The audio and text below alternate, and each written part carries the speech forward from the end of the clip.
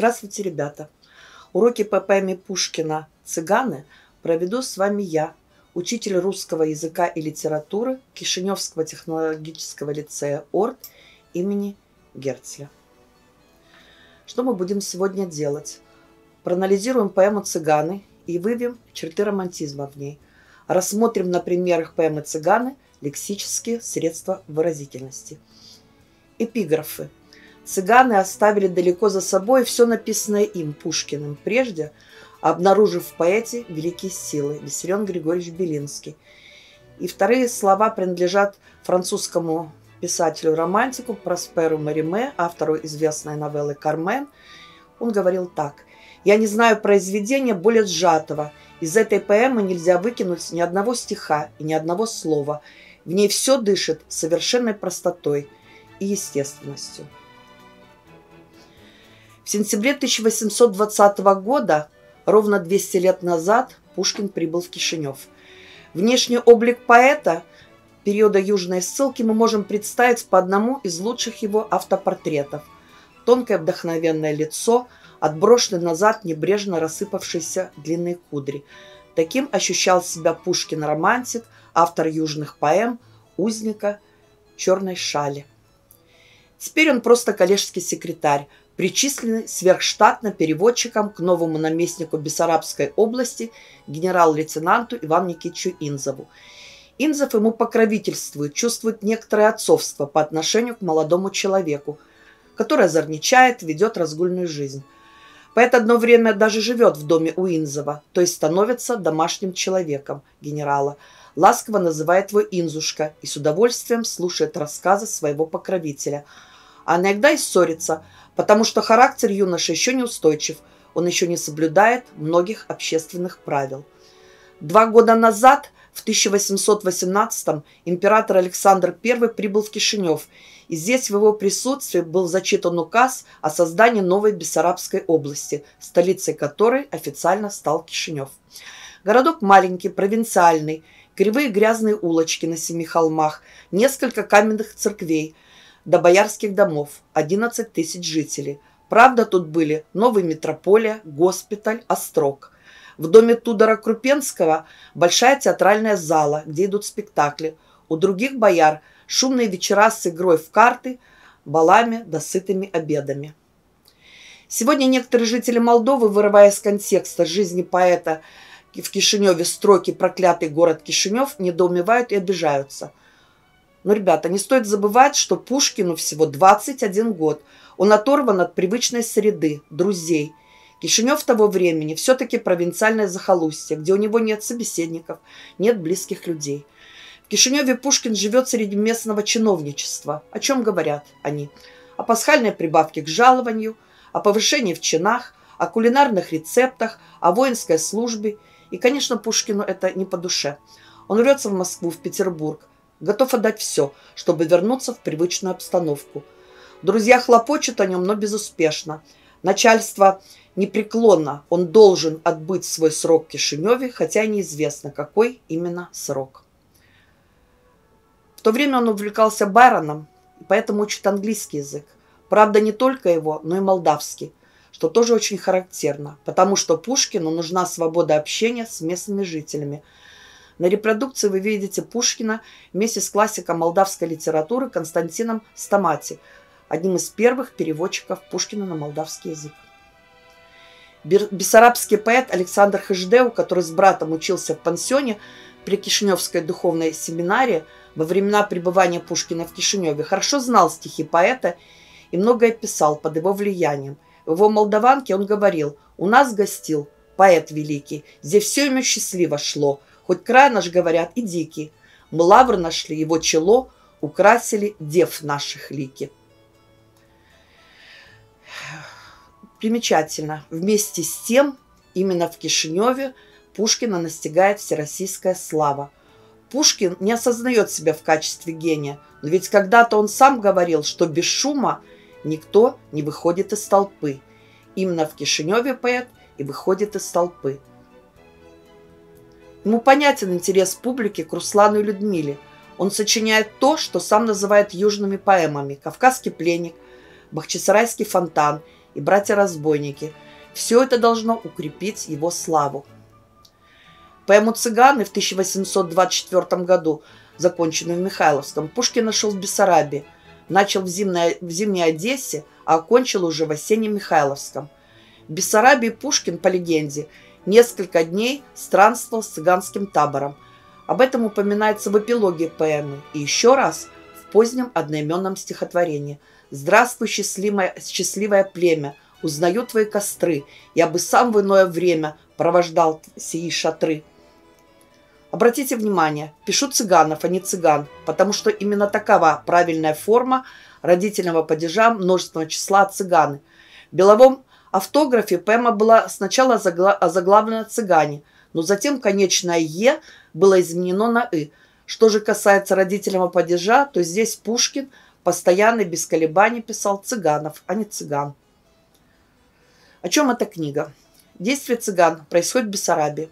Молодой герой Олега бежит из города, вероятно, совершив какое-то преступление, и оказывается в кочующем цыганском таборе. Он становится, становится мужем молодой цыганки Земфиры, которая вскоре, вскоре изменяет ему. Олег не выдерживает испытания цыганской свободы, убивает неверную жену и ее любовника, после чего его изгоняют из табора. «Цыганы» — это поэма о самой природе человека, его судьбе, о том, возможно ли счастье на земле. Эта поэма не только об Олега, но и об индивиде как таковом. Сможет ли он спокойно и беззаботно жить в прекрасном мире? Или же живущие в нем страсти способны разрушить любую идиллию? Это также поэма о любви, ее законах. Именно любовь, что вообще свойственно русской литературе XIX века, станет ключевым фактором, определяющим судьбу и состоятельность героя. Где располагаются границы свободы – и в состоянии ли человек ею воспользоваться. Эта поэма также о понятиях варварского и цивилизованного.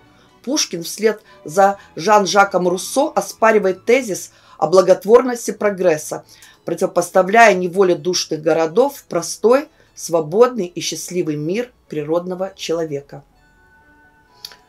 Можно ли назвать цыган романтическим произведением? Цыганы естественным образом примыкают к циклу южных романтических поэм. Я не говорила чуть выше. Герой поэмы – одинокий беглец и изгнанник с демоническими чертами. Предмет описания – его жизнь среди экзотического восточного народа. Отрывочность поэмы, ее недоговоренность и множество лирических диалогов, сближающих ее с лирической драмой – все это сразу напомнило читателям романтические поэмы лорда Байрона, в первую очередь поэму «Геур». Вспомним, что такое романтизм. Явление европейской культуры XVIII-XIX веков характеризуется противоречием между естественной, близкой к природе жизнью свободного человека и существованием людей, ограниченных рамками цивилизации, утверждением свободной духовно-творческой жизни личности, изображением сильных, зачастую бунтарских страстей и характеров одухотворенной и целительной природой. Давайте попробуем найти черты романтизма в поэме. Итак, романтический пейзаж. Спокойно все, луна сияет одна с небесной вышины, и тихий табор озаряет. Или все тихо, ночь, луной украшен лазурный юго небосклон. Взгляни, под отдаленным сводом гуляет вольная луна, на всю природу мимоходом равно сиянье льет она. Заглянет в облако любое, его так пышно озарит, и вот уж перешла в другое, и то недолго посетит. Кто место в небе ей укажет, примолвя, там остановись. Кто сердцу юной девы скажет, люби одно, не изменись. Спокойно все, поля молчат, темно. Луна зашла в туманы, чуть брежет звезд неверный свет, чуть по росе приметный след ведет за дальние курганы. Нетерпеливо он идет, куда зловещий след ведет. Вторая черта – интерес к экзотическому миру. Действие романтической поэмы развертывается чаще всего не в той среде, какой принадлежит герой по рождению и воспитанию, а в особой, исключительной обстановке, на фоне величественной природы, среди полудиких народов, не затронутых цивилизацией. И это еще больше подчеркивает необычность героя, исключительность его личности. Цыганы шумной толпой по Бессарабии кочуют – они сегодня над рекой в шатрах изодранных ночуют. Или И с шумом высыпал народ, шатры разобраны, телеги готовы двинуться в поход. Все вместе тронулось, и вот толпа болит в пустых равнинах. Крик, шум, цыганские припевы, медведя рев, его цепей нетерпеливое обрицание, лохмотьев ярких пестрота, детей и старцев нагота, собак и лай, и завывание, волынки говор, скрип телег, все скудно, дико, все нестройно, но все так живо, неспокойно, так чуждо мертвых наших нек. Мотив свободы, воли, как вольность весел их ночлег и мирный сон под небесами – его молоденькая дочь пошла гулять в пустынном поле. Она привыкла к резвой воле. Любви стыдятся, мысли гонят, торгуют волею своей, головы пред идолами клонят и просят денег до цепей. Мне скучно, сердце воли просит. Здесь люди вольны, небо ясно. Телеги мирные цыганов, смиренной вольности детей. Исключительные герои – Вслед за Байроном Пушкин избирает героями своих произведений людей необыкновенных.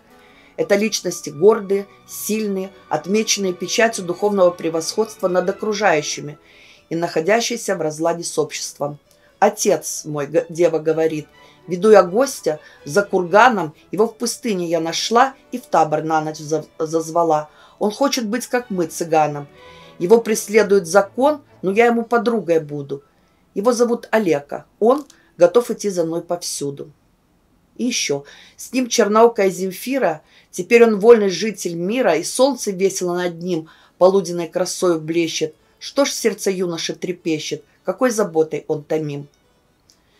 Его порой волшебной славы манила дальняя звезда, нежданно роскошь и забавы к нему являлись иногда. Над одинокой головою и гром нередко грохотал — но он беспечно под грозою и ведра ясное дремал, и жил, не признавая власти, судьбы коварной и слепой, но, Боже, как играли страсти его послушной душой. О чем жалеть, когда б ты знала, когда б ты воображала неволю душных городов, там люди в кучах за оградой не дышат утренней прохладой, не вешним запахом лугов. Мотивы бегства, изгнанничества – Подобно птичке беззаботной, и он, изгнанник перелетный, гнезда надежного не знал и ни к чему не привыкал. Ему везде была дорога, везде была ночлега сень. Не изменись, мой нежный друг, а я — одно мое желание с тобой делить любовь, досуг и добровольное изгнание. Что бросил я? Измен волнения, предрассуждение приговор, толпы безумное гонение или блистательный позор — противопоставление друг другу патриархального, естественного уклада и мира цивилизации. Они представляют воплощение свободы и рабства, ярких искренних чувств и мертвых нек, неприхотливой бедности и праздной роскоши. Ты любишь нас, хоть и рожден среди богатого народа, но не всегда мила свобода тому, кто книги приучен. Что шум веселья городских? Где нет любви, там нет веселий, а девы, как ты лучше их и без нарядов дорогих, без жемчугов и ожерелий.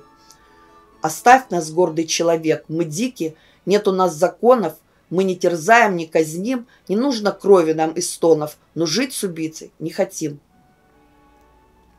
Страстная любовь и убийство. Для героя-романтика потеря возлюбленной равнозначна крушению мира. Герою поэмы так говорят о любви. Старик, кто сердцу юной девы скажет, люби одно, не изменись. Олега, как она любила, как нежно преклонясь ко мне, она в пустынной тишине часы ночные проводила. Да как же ты не поспешил тот час во след неблагодарной и хищником, и ей коварной кинжала в сердце не вонзил Олега. Я не таков. Нет, я не спорю, от прав моих не откажусь. Или хоть мщением наслажусь, тоже Олега. И Земфира, умру, любя. Роковая игра неподвластных разуму стихийных сил – и скоро все вдали степной сокрылось. Лишь одна телега, убогим крытая ковром, стояла в поле роковом. Но счастья нет и между вами, природы бедные сыны, и под издранными шатрами живут мучительные сны, и ваши сени кочевые в пустынях не спаслись от бед, и всюду страсти роковые, и от судеб защиты нет.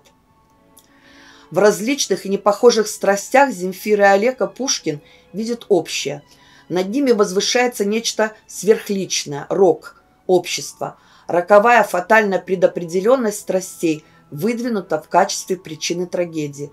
Источник кровавой драмы лежит вне личности, но действует через нее. На первый план выступила историческая обреченность героев, а не их личная вина. Изгнание Олега из табора становится отправной точкой зарождения реализма в литературе. Почему? Потому что никогда еще романтическая фигура не была разочарована и выгнана из свободного мира. Пушкин доказывает, что по-настоящему свободного человека нет и не может быть. Поэтому романтический идеал невозможен. Таким образом, хотя цыганы принадлежат к циклу романтических южных поэм и даже представляют из себя завершающую самую зрелую поэму, на этом романтическая тема оказывалась исчерпанной. Григорий Гуковский, литературовед, в работе «Пушкин и русские романтики» справедливо отметил, в Михайловском завершился пушкинский романтизм и был создан русский реализм. От романтической субъективности к реалистической объективности таков путь Пушкина в создании этого произведения. Ребята, теперь я хочу на примерах поэмы Пушкина «Цыганы» рассмотреть вместе с вами лексические средства выразительности. Что это такое? Вспоминаем. Самый распространенный. Это тропы, слова и выражения, используемые в переносном значении. В произведении много метафор. Метафора – это слово или выражение в переносном значении, основанном на сходстве предметов. Например, неволя душных городов, ложа неги, ночлег гостей, с тобой делить любовь, досуг, оковы просвещения и так далее. Развернутая метафора – изображение цельной картины с помощью слов в переносном значении. Все тихо, ночь, луной украшен лазурный юга небосклон. Или «Взгляни, под отдаленным сводом гуляет вольная луна, на всю природу мимоходом, равно сияние льет она». Олицетворение – это разновидность метафоры. При описании животных или неодушевленных предметов они наделяются человеческими чувствами, мыслями и речью. Например, волынки говор, его порой волшебной славы манила дальняя звезда, как играли страсти его послушной душой. Эпитет – образное, красочное определение – выражается именами-прилагательными, причастиями, наречиями. Например, резвой воли, убогий ужин, черноокая Земфира, судьбы коварной слепой, остывающая кровь, обеславленная могила. Сравнение – образное выражение, построенное на сопоставлении двух предметов, понятий или состояний, обладающих общим признаком. Может быть построено с помощью сравнительных союзов «как», «точно», «словно» и других – или формы творительного падежа. Например, как вольность веселых ночлег, он хочет быть, как мы, цыганом, но все так чуждо в этой жизни праздной, как песня рабов однообразной. Олега волен, как они, и долго ею, как солнцем, любовался я. Дома постарайтесь найти самостоятельно черты романтизма в поэме «Цыганы». Используя материал урока и текст произведения, составьте цитатную характеристику главного героя Олега и выпишите из поэмы свои примеры, разобранных на уроке лексических средств выразительности. Спасибо за внимание.